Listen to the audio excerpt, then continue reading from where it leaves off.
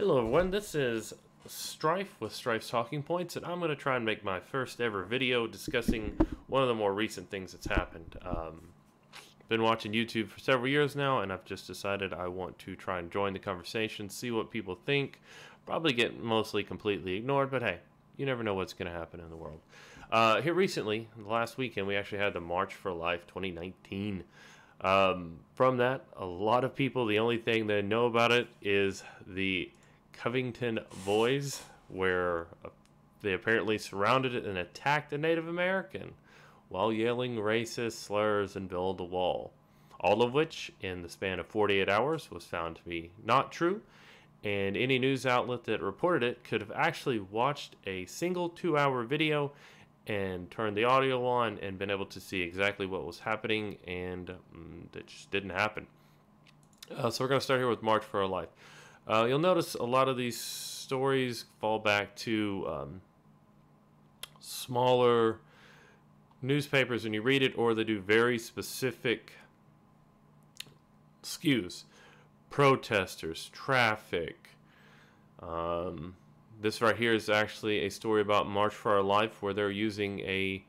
Um, they're talking about the diocese being closed from threats of violence, and they just kind of skip everything else.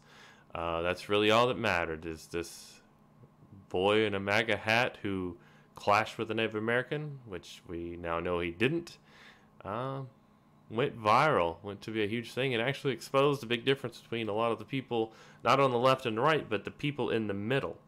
Uh, I've always considered myself very much a liberal, and when I read this stuff, I could not believe it. I've had to explain it to other people, I've had to drop clips on Facebook, I've had to go through Reddit. I've been talking to friends and family, my girlfriend. We've had to cover this because it is unbelievable how wrong and how far this went, how fast. Um, here's one of the things you don't ever hear about when you talk about uh, March for Life and news is people who regret having abortions. Uh, one of the unique things is if you ever do decide to have children and you have one and they start growing up and then you look back at you've had one, two, three abortions well, you've actually have killed um, your children in the past. That is a very hard thing. Uh, I've known people who are now in their 30s and 40s who had an abortion when they were 18 or 19, and that is their greatest regret. They have the worst nightmares about it. They don't talk about that in mainstream. Shout it out. Say how proud you are that you did this. And it's really a very limited group who do it. Um, I don't know, once you become a parent, the whole idea of killing your child or killing something that could have been your child just will not sit with you. And that is why you see a lot of people, not only religious people, but secular people, moving out away from the whole idea of abortion as strictly a women's issue. It is not, it is a family issue. Um, if you're alive today, then you started out as a tiny clump of cells that grew into a person. That tiny clump of cells, if unharmed, will very likely turn into a human in the future. And that human will be able to make their own decisions and do their own life. And the person's choice to end that is not. You're essentially choosing to kill another human because of convenience, because it will be a burden on you. And I just I just don't get it. Um, March for Life teens confrontation with Native American reveals an ugly divide. It does. If you watch the video, if you listen to the stuff, it was very selectively edited. look at that, a commercial. Yeah. So that people would only feel one way. You do not take the time to research the video. They did not take time to go through it even to anything else. Uh, the breakdown falls upon a group of kids who were standing aside steps in an area in front of the Lincoln Memorial waiting on their ride to pick them up, buses. And they were essentially where, here we go, confrontation face off. You can hear everyone at CNN. Again, Hatz is speaking out tonight as the White House says it has, quote, reached out and voiced our support to the students' school and says there could be a White House visit these students were standing beside a Lincoln Memorial on the steps out front, and they were essentially being shouted at, cursed at, racial slurs, homophobic slurs. Uh, they actually were threatening to har- telling uh, one child there, one child there that the uh, white people were going to harvest his organs. Uh, very strange thing. And this story blew up. And why did it blow up? People in this country want to be hateful towards each other. Um, Covington Catholic Church is set to reopen on Wednesday due to incidents following this weekend in Washington, D.C. The March for Our Life. Kids in a Catholic church went to support pro life, which, as a Catholic, I am very much pro life. I don't see why it's considered uh, such a hot button women's issue to be able to go out there. Oh, and here's some um, on this. What you see is a news story about Covington Catholic Church. However, there is a Native American um, voice of protest from outside the Covington. These people are there to protest the children being there. The children were at the March for Our Lives, so I wonder are these people there supporting the idea that you should kill children? Um, because that was most of the response on Twitter was attack these children, dox these children, hate these children, and who would have thought? They are in support of the Black Hebrew Israelites, a known hate group. They are there to express how much they dislike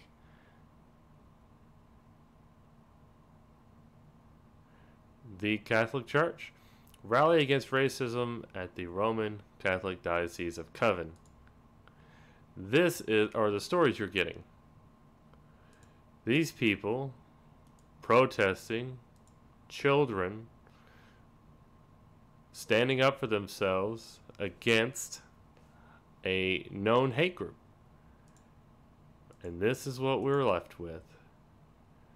Racism and learned behavior. Yes, that lady there is teaching people how to be racist. This white lady here.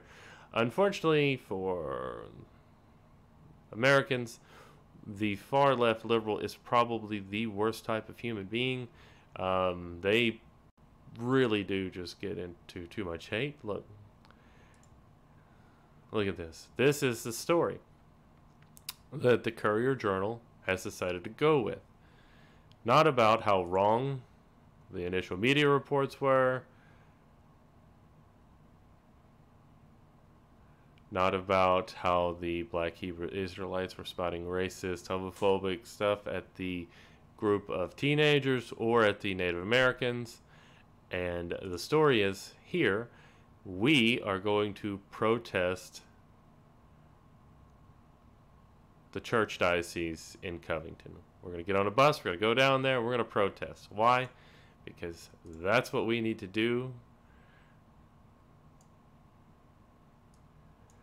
We're, oh, here we go. The movement is in response to an incident in Washington, D.C., when the students of Covington Catholic High School were filmed in an altercation with a Native American man. Native American man who's essentially every part of his story has been proven to be false from his own accounts, from his live accounts, and from basic searches on his history. These people are there to create a protest because they need extra media time, and the media is more than happy to give it to them. Um,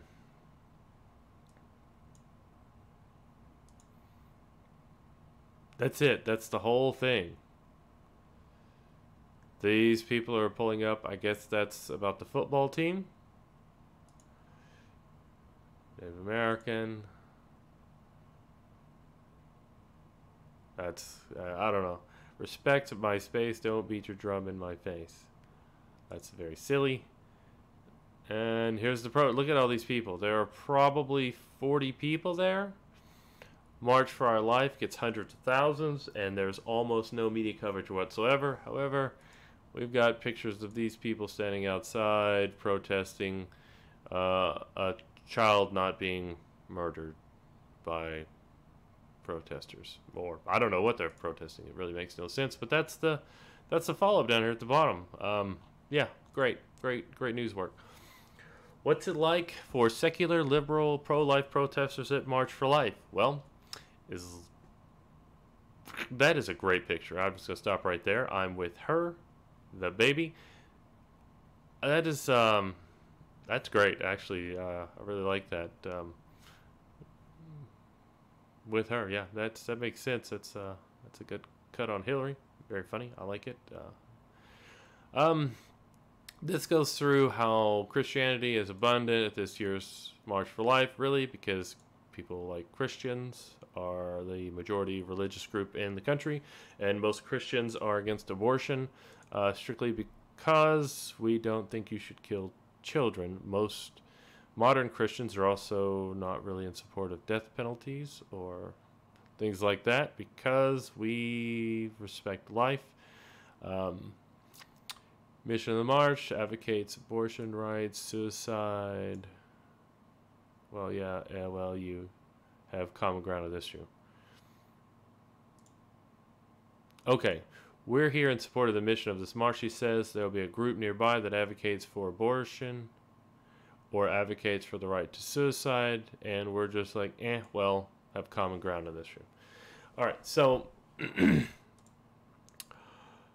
Yeah, this is just a collection of stories um, trying to delineate, deviate between the religious and the non religious. Secular pro life groups tend to put emphasis on scientific evidence, uh, support the idea that human life begins at conception, which I believe now it's 18 weeks a child can live outside of the mother's body. Um, uh, it just goes through various stuff here. This is mostly about how they do or don't get along. Xavier, Xavier, I don't know say that, 24, attended the march. Didn't like Ben Shapiro. Uh, ben Shapiro spoke at this. And one of the things Ben Shapiro is ben, the inclusion of Ben Shapiro, the founder and conservative website Daily Wire and host of podcast Ben Shapiro's Show angered some left leaning supporters of pro life cause. Shapiro is a pro life figure among, not far right, among conservatives. This first part is a lie. Far right hate Ben Shapiro. Ben Shapiro, if anyone out there listening doesn't know, is a Jewish man. Most practicing Jews, as with most more religious groups, are conservative. Don't know if you know this, but most Muslims are extremely conservative as far as how we think of their views. Um, ben Shapiro is a conservative. In a recent op ed, Warren Shapiro's invitation to the main stage would alienate non conservatives from the event. Ben Shapiro went to the event, spoke briefly, and said he would not kill baby Hitler because his pro life beliefs he would not. He stated he would remove baby Hitler from the family Hitler was in and place him in a different family. The old nature versus nurture. If you removed Hitler from his family, didn't go through the strife and the problems that he went through, maybe he wasn't even in Germany. Would there have been a need to murder him? Interesting question, and apparently that set people off, which makes little to no sense, but hey, this is how these stories are being treated. Find what you can, push the story you want and go on from there. If you can find any flaws, go for it. If you can find ways to alienate, to find a protest in it, you do that. Oh, this is the uh, hateful tweets at the Covington Church. Um, this is Wall Street Journal. Now, I saw this and it is very interesting. Um, and we're just going to read real quick through this. One of the major, most culturally deplorable boxes one can check in Progressive America 2019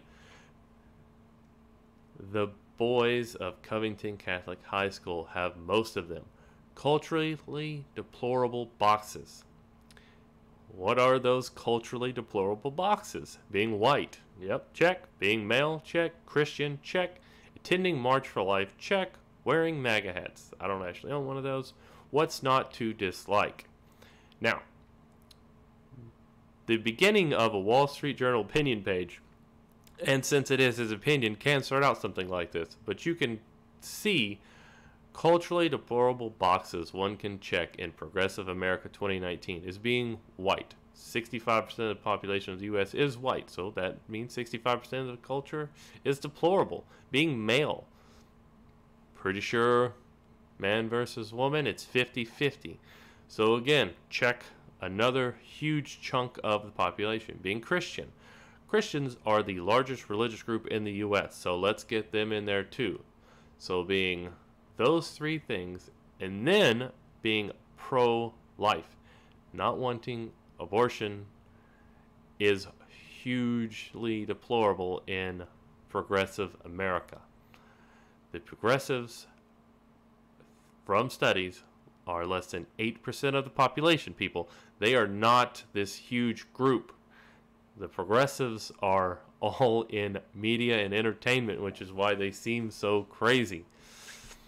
Um, going through this, it turns out Phillips is not a Vietnam veteran, as most stories reported. He said that he was never deployed to Vietnam. He apparently had gone AWOL a few times.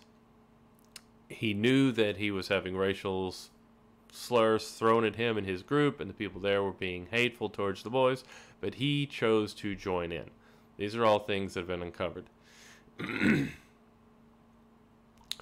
this is Kathy Griffin attempting to dox minors. Kathy Griffin, blue checkmark, and the blue checkmark army on Twitter should be removed. These people who called for attacks there was one guy from Disney who posted one about dumping them into wood chippers. I don't care. If you can be removed from Twitter for being on the right, for saying anything about a minority, these people are actively calling for attacks and violence against children. This is crazy. I just, I don't get it. And here's today. Some in the Twitter mob delete or apologize for tweets about Covington students. Some, not all, not all of them. Here it is. This guy, Jack Morrissey. Look at that. Let's murder children. Let's do it, because that's the America we live on. This man, whatever he does for a living, probably should have his self reviewed. Definitely should be banned from Twitter. Kathy Griffith, banned from Twitter. Anyone they go back through and find that was actively attacking children, wanting children to be attacked, doxxed, gotta go. Just no. Anyway, thank you for listening, and hope you have a good day. Please comment below. I'd like to I'd like to get something going. It's kind of interesting to me. Thank you. Bye.